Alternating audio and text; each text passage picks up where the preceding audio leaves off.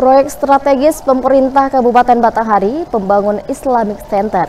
Bupati Fadil Arif pastikan pembangunan fisiknya akan terrealisasi pada bulan Juni 2024 ini. Setelah melalui proses panjang, Bupati Fadil telah menginstruksikan lelang dan kontrak fisik pembangunan Islamic Center telah terrealisasi. Program unggulan Bupati Fadil Arif dalam menciptakan ikon religi Kabupaten Batanghari yang menjadi salah satu wisata religi yang menjadi program unggulan Batanghari Tangguh segera terwujudkan.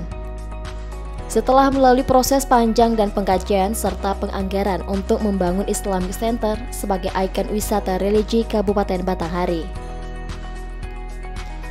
Bupati Fadil Arif menjelaskan pembangunan Islamic Center terus akan dikebut Proses lelang pengawasan telah usai dan saat ini untuk melakukan perjanjian kontrak kerjaan fisik Islamic Center.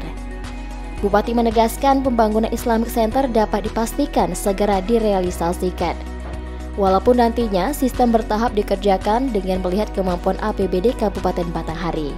Melakukan percepatan ya, karena lelang pengawasan sudah selesai. Nah, kita, kita menginginkan di bulan ini sudah kontrak fisiknya sudah jalankan.